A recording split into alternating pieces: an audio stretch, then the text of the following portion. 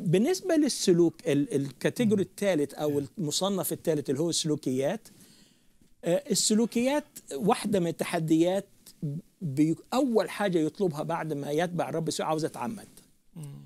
مدرك إنه العماد في المسيحية أو في معرفة المسيح بتساوي الشهادة في الإسلام. في الإسلام عشان عشان أي واحد يتحول من أي دين ويعبر إلى الإسلام كل اللي هو مطلوب منه ي- ينطق. الشهادتين.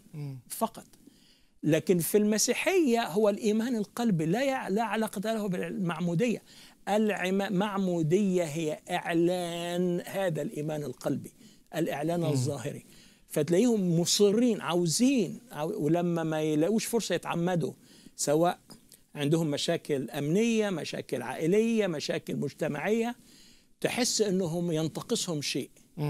فده بيأثر عليهم وبيتحداهم وبالتالي بيأثر بالسلب عليهم.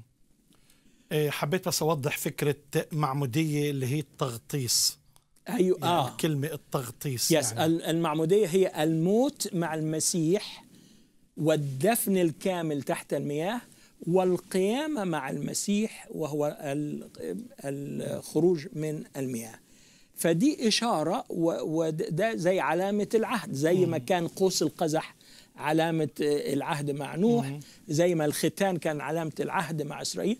المعمودية هي علامة العهد الجديد.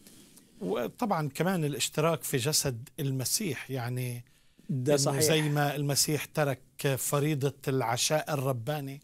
نتذكر موته. إلى أن يجيء كذلك المعمودية. ده صحيح. نتذكر موته وقيامته. ده صحيح. عشان كده آه، مهم جدا إن إحنا نوضح لهم لا ننتقص من أهمية الفريضه لأن الرب يسوع طالبها. الفريضتين دول الرب يسوع طالبهم. هو ده اللي أكد عليهم.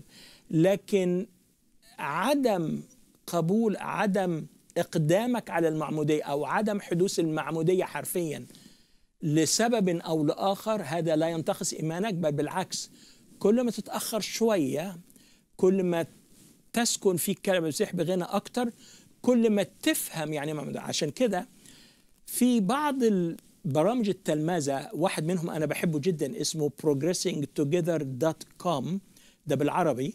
في في كورس كامل أو مساق كامل عن المعمودية.